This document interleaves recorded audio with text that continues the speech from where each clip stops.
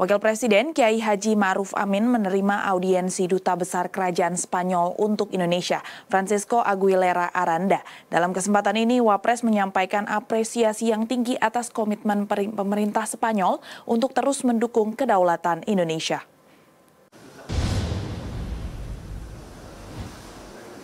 Kepada Dubes Spanyol Francisco Aguilera Aranda, Wapres mengatakan sudah semestinya Spanyol dan Indonesia menegaskan komitmen bersama untuk menegakkan integritas teritorial setiap negara.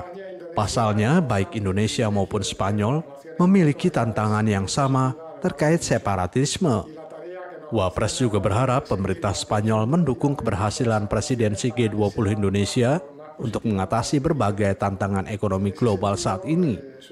Wapres juga mendorong peningkatan kerjasama Indonesia-Spanyol di bidang keagamaan, budaya, dan pendidikan sebagai upaya merekatkan rasa saling pengertian antar masyarakat kedua negara. Menyambut harapan Wapres, Dubes Aguilera mengungkapkan bahwa Spanyol adalah tamu permanen dalam perhelatan G20 sehingga sangat penting untuk bekerja sama dengan Indonesia. Terkait kerjasama budaya, Dubes Aguilera menegaskan dirinya ingin mempromosikan pertukaran bahasa, yakni dengan mengajarkan bahasa Indonesia di Spanyol dan sebaliknya.